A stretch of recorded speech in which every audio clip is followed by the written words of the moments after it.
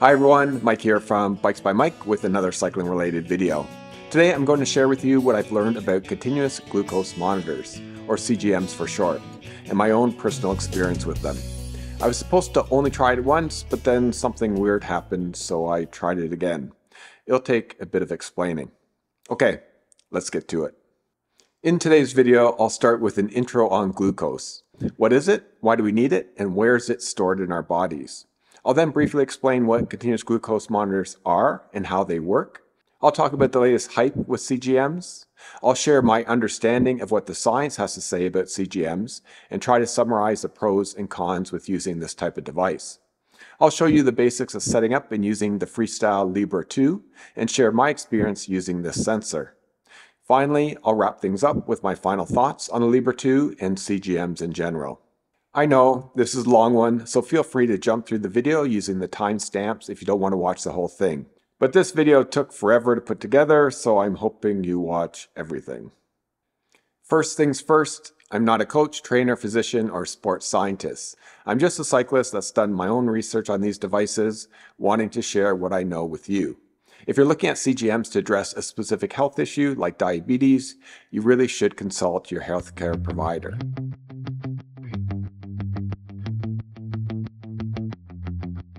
Before I talk about CGMs, it's important to cover off the basics of glucose. What is it? Why do athletes need it? And where is it stored? As for what it is, glucose is a monosaccharide or simple sugar.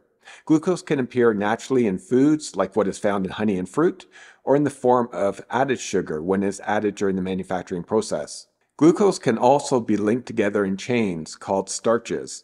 Starches are complex carbs found in abundance in such foods as corn, potato, rice, and wheat. So why is glucose important? It's important because it's the body's main source of energy, with our brain requiring a constant supply to stay alive and well. For endurance athletes like cyclists, a constant supply of glucose is necessary to optimize performance, especially for higher intensity efforts where your body recruits most of its energy from glucose and glycogen stores. The rate of fat versus carb oxidation can best be understood by looking at this chart that shows the intensity of exercise on the x-axis measured as a percentage of maximal oxygen uptake, or VO2 max, and the percentage of energy your body extracts from fat versus carbs on the y-axis. You can see that fat oxidation is highest with the lowest intensity exercise. Although even when working out at low percentage of VO2 max, you're still getting a small amount of your energy needs from carbs. But then as you increase exercise intensity, you get to a point around 60 to 65% of VO2 max, where your body derives most of its energy from carbs.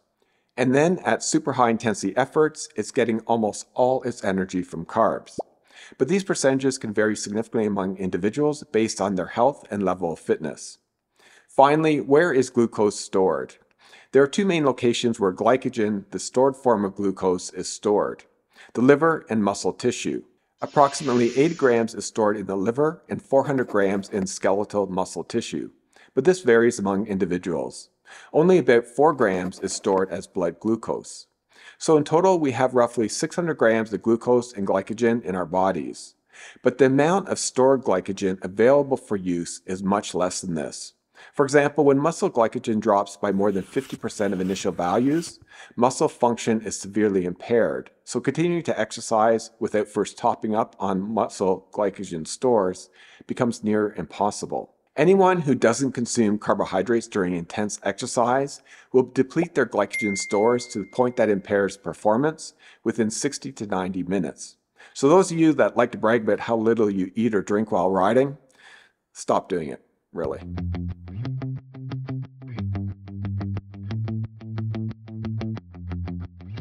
A continuous glucose monitor, or CGM, is a device that automatically measures your blood glucose level, also called blood sugar, throughout the day and night. In that way, it can be used to spot trends in glucose levels and assist in identifying the cause of changes in blood sugar. Regardless of the brand, CGMs essentially work all the same way. An applicator is used to apply a biosensor to your upper arm. The applicator has a needle that penetrates the skin, opening up a hole to insert a very thin filament. The needle retracts back into the applicator, leaving the filament and the disc-shaped base in place. The base houses the circuitry, battery, Bluetooth chip, and memory chip. Once in place, the sensor stays in place for two weeks, after which it no longer will work and needs to be removed from the skin. The sensor takes regular periodic blood glucose readings and transmits this information in real time to your smartphone or some other device. While prices vary among brands, generally you pay about $90 Canadian for a two-week sensor.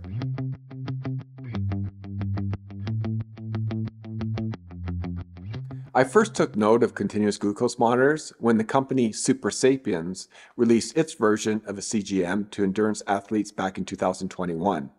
For the next couple of years, there's quite a bit of hype that CGMs would well be the next best thing in bringing performance improvements to endurance athletes, including cyclists.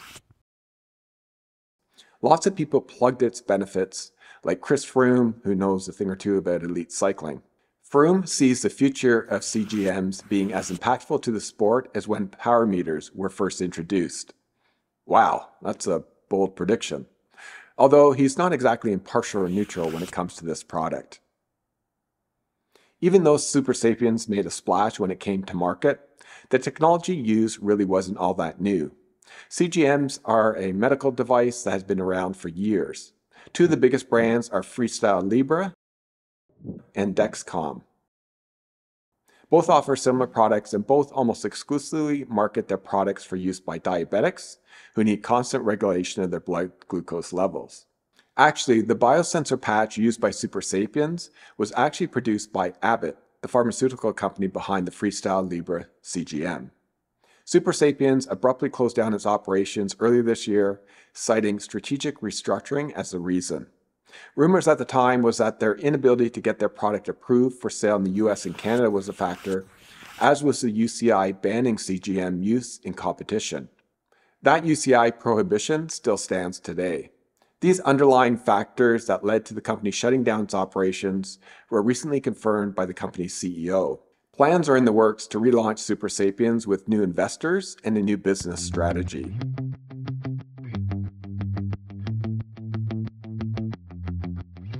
Now we need to talk about the somewhat controversial issue of the efficacy of CGMs. First things first, it's undisputed that CGMs offer huge health benefits for those suffering with diabetes.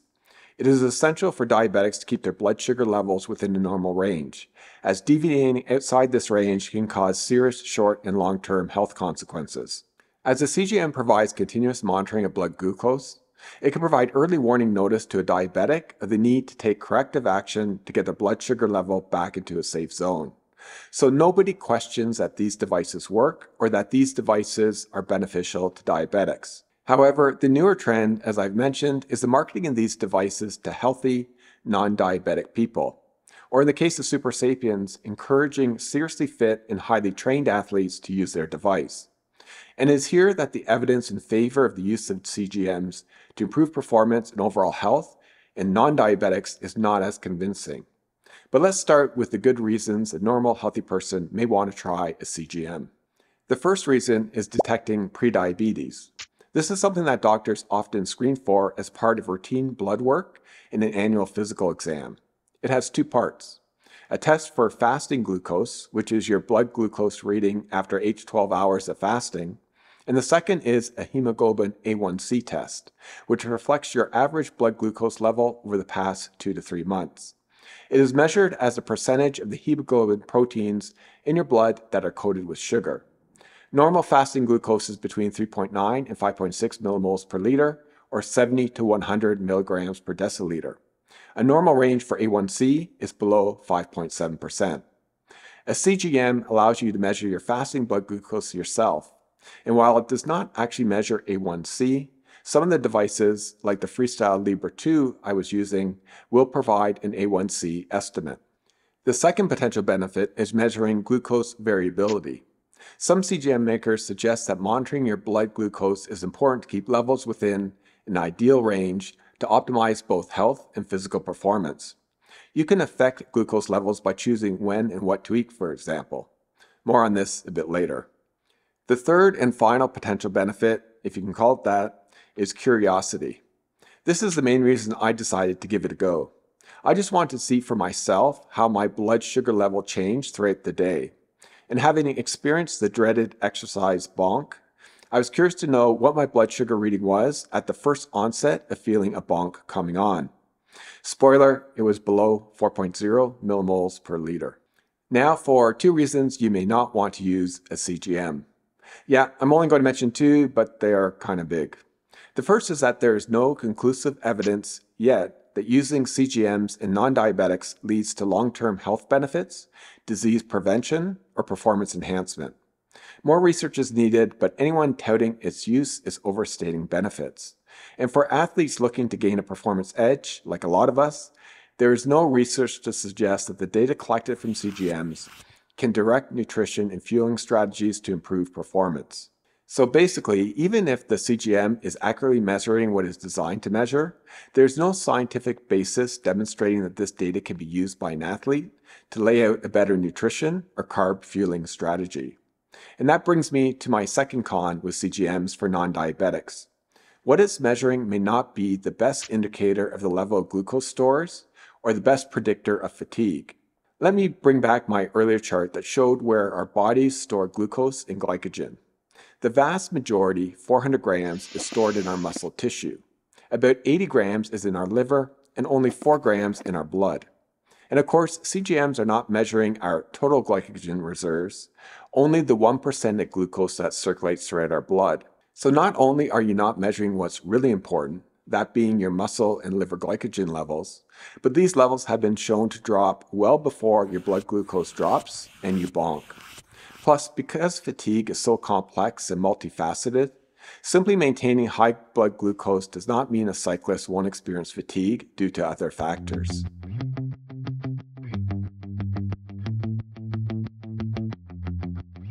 Installing the Libre 2 sensor only takes a few seconds. It's applied to the back of your arm using the included sensor applicator and is held in place by a strong adhesive.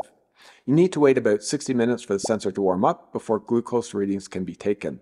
After an hour, you're good to pair the sensor to a glucose-specific reader or to an iOS or Android smartphone app. I've installed the app on my phone. The homepage shows your current glucose reading at the top with an arrow showing you where it's trending. Green means good to go, as does a horizontal line which indicates stable glucose. The line graph at the bottom shows you your last 8-hour trend with a typical normal range of between 3.9 and 10 millimoles per liter highlighted in light green.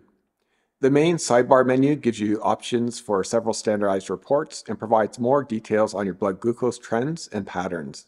You can view your average daily patterns over the course of one week, two weeks, one month, or three months.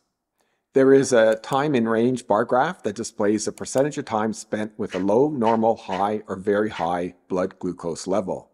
All these reports give you the option to view results over different time periods. You have a report just showing low glucose events with the number of events shown with a red bar. You can also look at your average glucose reading at different times of the day. For most people, this will be their fasting glucose level measured sometime during the middle of the night. There is a daily graph report which shows trends for each day, shown as a line graph. And finally, the Libre 2 will estimate your hemoglobin A1C percentage based on the data it's collected so far. So the app does have some simple and handy features to make it easier to analyze your blood glucose data.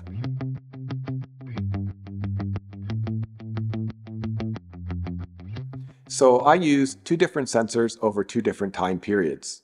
The first one I wore from April 25th to May 3rd.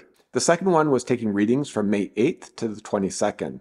So the first one I only wore for 8 days, while the second one I wore for the maximum life of the unit, which is 2 weeks. With my first sensor, I was getting fasting glucose scores around 6.5 millimoles per liter, which is pre-diabetes range. I was also getting high spikes in my blood glucose after lunch and dinner. This didn't worry me at first as I chalked it up to a one-off bad day. But then I got equally bad readings on subsequent days. No change. I was getting worried at this point, so I spoke to my family doctor. He was also surprised by my readings as all my prior blood lab tests came back with normal fasting glucose and A1C scores. He suggested I have my blood retested, which I did a couple days later. I was totally relieved when my blood work came back as normal. The blood lab had recorded my fasting glucose as 4.5 millimoles per liter or 81 milligrams per deciliter. right within the normal range. But my Libre 2 sensor was giving me a reading of 7.2 millimoles per liter or 130 milligrams per deciliter. At the time, my blood was taken by the lab. So massively different results. My lab results showed my fasting glucose as normal, while my CGM put me in the diabetic category. I don't know what was going on with my sensor, but it was not producing accurate readings. Maybe the sensor was defective or maybe I installed it improperly. But whatever the reason, I took it off after eight days as it wasn't giving me any data I could rely on. Even though my blood work confirmed that I was not a diabetic, I wanted to give the Libre 2 another chance to see if I could get proper blood glucose measurements. This time, it appeared to be doing its job properly. My fasting glucose level was shown in healthy range, and the spikes were also more moderate and explainable. This was my glucose reading during a pretty intense 5-hour ride. It started off stable and normal when the pace was slow, but then you can see several spikes throughout the ride. These spikes were predictable and were likely caused by the higher intensity of the ride, as well as the energy bars and carb drink I was consuming regularly.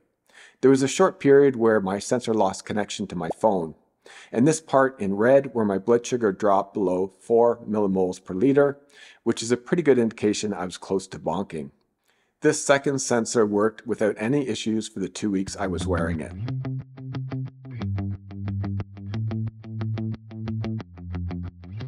I guess I can sum up my experience with using continuous glucose monitor as interesting, but not all that useful at least not for the purpose of optimizing my fueling strategy on and off the bike. And this is not a knock at the Freestyle Libre 2. While the first sensor I used didn't work properly, I do think it was just an odd occurrence. The Libre 2, like many other CGMs, is licensed in Canada and the US for use by diabetic patients. So I know it has to be both accurate and reliable for use by people that absolutely require it to manage their blood sugar levels. If I were a diabetic, I'd be happy using this device.